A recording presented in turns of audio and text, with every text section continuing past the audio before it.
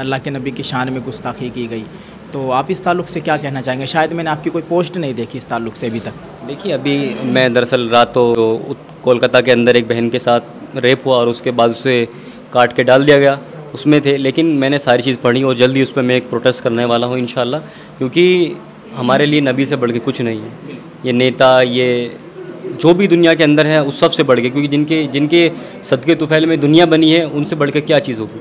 काफ़ी लोग आपके चाहने वाले हैं, नौजवान तबका आपके पीछे रहता है, मैं देख रहा हूँ। तो इसकी क्या वजह है? नौजवान क्यों आपके साथ है इतना? अल्लाम वरहमल वर्क उर्दू न्यूज़ इंडिया के मोज़ नाजरीन को खुश आमदीद। नाजरीन महतशाम निज़ामी कासमी, आज हमारे साथ ख़ास बातचीत करने के लिए एक ख़ास मेहमान मौजूद हैं। मशहूर social media activist Mohammad Kaif, आप इस चेहरे को जानते होंगे। आज हमारे साथ मौजूद है। तो कैब भाई सबसे पहले आपका शुक्रिया आपने अपना कीमती वक्त दिया। सलाम वालेकुम अस्सलाम बहुत बहुत शुक्रिया आपका। कैसे हैं आप?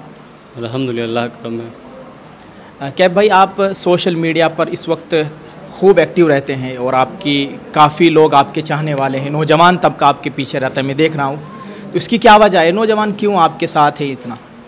देखिए नौजवान जो हम काम कर रहे हैं जिस फ़ील्ड को जिस मुहिम को जिस मिशन को लेकर हम लोग चल रहे हैं उससे मुतासर होकर वो हमारे साथ जुड़ना चाहता है वो अपने आप को तब्दील करना चाहता है इसलिए हमसे जुड़ रहा है और हमारे पास आता है और हमसे मिलने की चाहत रखता है।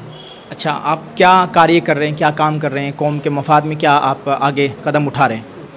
जिस भी किसी इंसान पर जुल्म होता है उस जुल्म को ख़त्म करने का काम कर रहे हैं। जिस किसी बहन बेटी के साथ कुछ अत्याचार होता है कुछ घटना होती है उसके ख़िलाफ़ आवाज़ उठाने का हम लोग काम कर रहे हैं। हम शिक्षा पर काम कर रहे हैं कि नौजवान जो हैं ज़्यादा से ज़्यादा कलम को अपने हाथ में लें। तालीम को अपनी ज़िंदगी का मकसद बनाएँ और अपने और अपने परिवार वालों का और अपने ख़ानदान का नाम रोशन करें।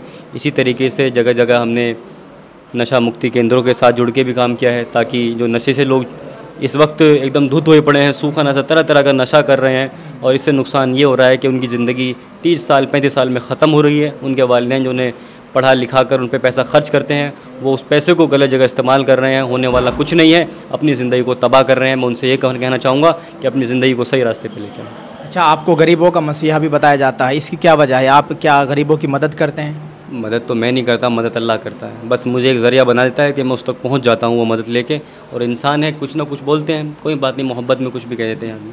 नहीं जैसे आप गरीबों की मदद करते हैं आपने कोई फाउंडेशन बना रखा है यानी कौम से आप इकट्ठा करते हैं चंदा तब मदद करते हैं या अपने तर, अपने तौर पर अपने तरीके से मदद करते हैं? देखो हम एक फाउंडेशन चला रहे हैं राय ज़िंदगी फाउंडेशन जितना बड़ा प्रोजेक्ट होता है या जैसे कोई बड़ा प्रोजेक्ट होता है तो उसमें कौम का भी हिस्सा लेना चाहते हैं हम, क्योंकि इंसान जो ये खिदमत का काम होता है अकेले नहीं कर सकता। इसमें सभी का साथ होना बहुत ज़रूरी है।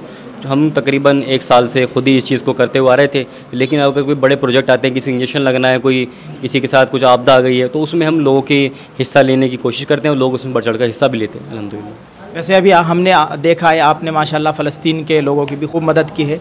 ये फाउंडेशन के ज़रिए कि आप खुद से ही चल के गए वहाँ नहीं ये फाउंडेशन के ज़रिए हुई और लोगों ने इसमें हिस्सा लिया। सभी लोगों ने हिस्सा लिया। इसमें जितने भी हिंदुस्तान के लोग हैं सभी ने इसमें बढ़ चढ़ के हिस्सा लिया क्योंकि जितना उन पर जुल्म हो रहा था आप सभी ने देखा।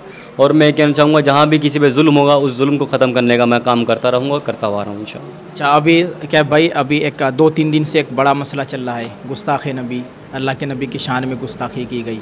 तो आप इस ताल्लुक़ से क्या कहना चाहेंगे? शायद मैंने आपकी कोई पोस्ट नहीं देखी इस ताल्लुक़ से अभी तक। देखिए अभी मैं दरअसल रात तो कुछ जो कोलकाता के अंदर एक बहन के साथ रेप हुआ और उसके बाद उसे काट के डाल दिया गया, उसमें थे। लेकिन मैंने सारी चीज़ पढ़ी और जल्दी उस पर मैं एक प्रोटेस्ट करने वाला हूँ इन क्योंकि हमारे लिए नबी से बढ़ के कुछ नहीं है। ये नेता, ये जो भी दुनिया के अंदर है उस सबसे बढ़ के क्योंकि जिनके जिनके सदके तुफैल में दुनिया बनी है, उनसे बढ़ के क्या चीज़ होगी?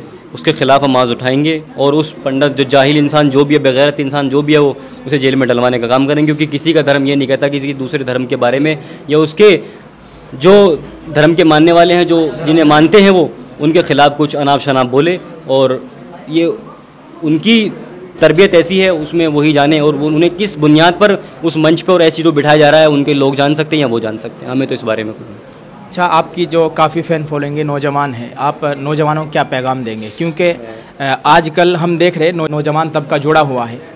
आजकल रील बनाते हैं और इतनी फहाशी फैला रखी है नौजवान तबके ने ख़ासतौर से हमारे मुस्लिम समाज का तबका आप क्या पैगाम देंगे इनको इस वीडियो के ज़रिए? मैं उनको यही पैगाम दूँगा एक तो तालीम की तरफ़ रुजू करें। जितना ज़्यादा हो सके तालीम को अपनी ज़िंदगी का मकसद बनाएँ कलम को हथियार बना लें। अगर तुम्हें इस वक्त में इन लोगों जाहिल लोगों से लड़ना है तो आप लड़ नहीं सकते।